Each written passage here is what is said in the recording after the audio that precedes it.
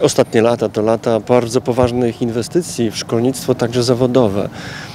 Ta szkoła jest znakomitym przykładem, jak można nowocześnie kształcić kadrę dla wielu firm z Gdyni, z Pomorza, bardzo nowoczesne pracownie. Tutaj jest wiele takiego sprzętu, których nie ma nawet w nowoczesnych firmach.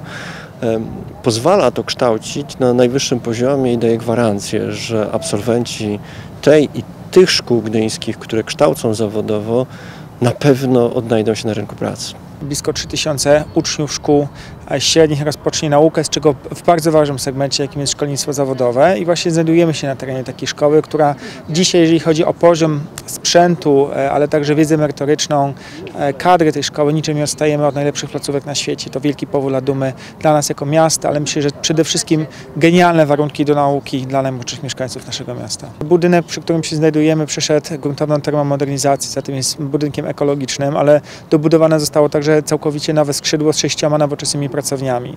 To jeden z najnowocześniejszych sprzętów, które są u najlepszych pracodawców, zatem każda osoba, która dziś uczy się na tym sprzęcie, ma tą gwarancję, że trafiając do bardzo solidnego e, pracodawcy, który jest wyposażony w nowoczesne technologie, będzie miało praktyczną wiedzę właśnie wynikającą z edukacji w tej szkole. To zawody związane z elektroniką, z elektryką, z chłodnictwem. Część północy Polski to właśnie taka, takie miejsce, w którym jest bardzo dużo firm, właśnie przede wszystkim związanych z przemysłem chłodniczym. Stąd e, edukujemy osoby, które jeszcze na, na etapie kształcenia się w tej szkole już zdobywają zawód, zdobywają wykształcenie. Mało tego, zdobywają już oferty pracy i zaczynają pracować dla pracodawców, którzy właśnie są licznie zlokalizowani w tej części Polski.